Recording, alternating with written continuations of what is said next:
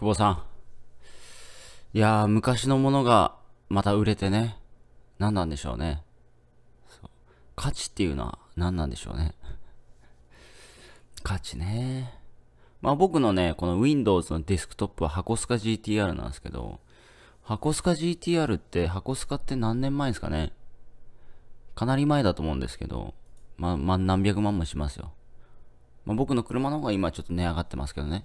倍増してますけど、昔のものが上がって、今のものは下がって、何なんでしょう。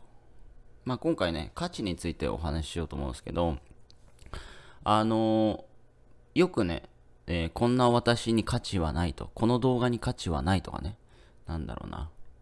あこの商品、こんな、こんなんで価値なんか出ないですよとかね、価値なんか提供できないですよとか、なんかまあそういうふうに言う人が多いんですね。だ初心者だから価値ができないみたいなね。価値が提供できないみたいな。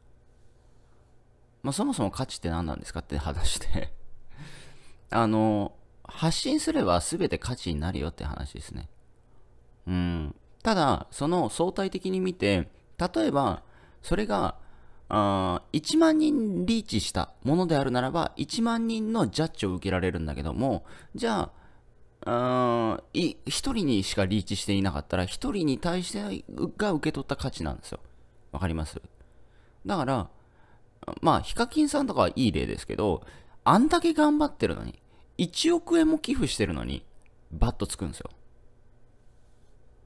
どう思いますか？え、動画がいてもいいことしてます。動画がいてもいいことしてますよね。だけどバットつくんですよ。だから、それはいっぱいリーチしてるから、中にはそこに価値がないと。なんだこいつ1億円お金見せびらかしやがって、みたいな話ですよ。わかります？だから、あの、どれだけすごい人でも、幅広くいくと価値は、こう、分かれるってことです。ね？ヒカキンさんがバットゼロの動画は1個もないですよ。おそらく。まあ全部見てないんでわかんないですけど、まあ100%バットがゼロの動画は一歩もないと思います。うん。どうでしょうか？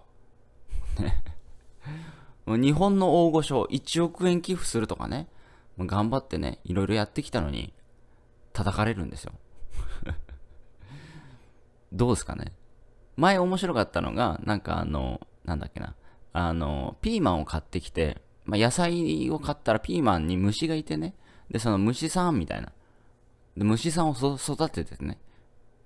虫さんって虫さんに名前をつけてね。育てて。で、それを外に出したわけですよ。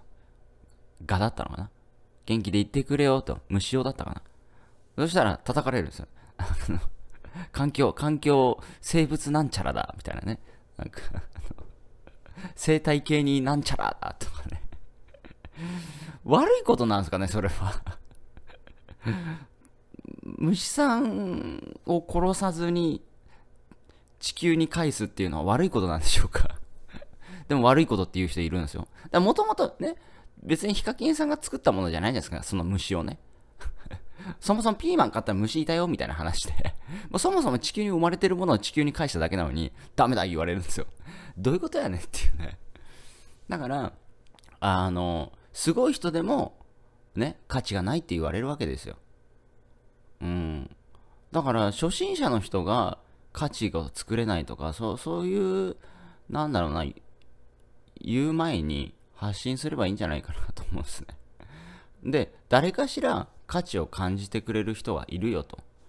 例えば昨日コンサルしてたんですけど、失敗小僧さんっていうね、YouTube チャンネルがあるんですけど、まあ明らかにね、失敗小僧さんにはちょっとわ申し訳ないですけど、まあ、外見も全然良くない。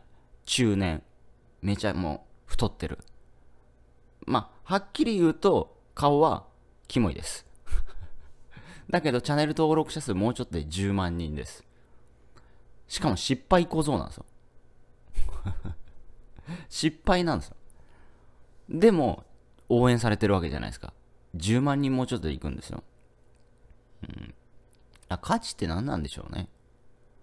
失敗してることにすら価値があるっていうね。いってらっしゃい。